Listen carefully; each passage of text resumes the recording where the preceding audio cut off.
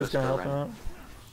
And Lee Sin does have A Aegis, so he's just gonna become a meat shield this time instead of going for that frozen mallet. So Flares looks like know. he's getting sandwiched right now on top. Uh, everybody knows he's there, and they're gonna try and chase him around. He's getting so slowed by this Zilean, and Tristan is there to meet him too.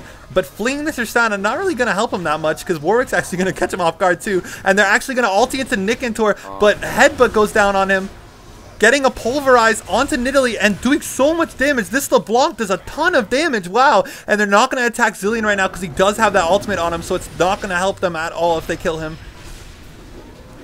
This could be really bad for Rage right now if they keep losing too many people. This could be a Baron attempt actually. Yeah, and, And it could start Eyes- going down, taking so much damage from that Tristana. Tristana Yeah. looking to jump over Maisie, possibly.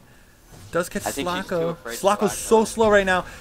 And Slackoh actually tries to get a kill. Oh my gosh! He gets a kill on two people! And oh my god, Slackoh! He is gonna die to this Warwick, but Warwick might die to this Ezreal actually. And wow, that was such a good turnaround. Oh my Holy. god.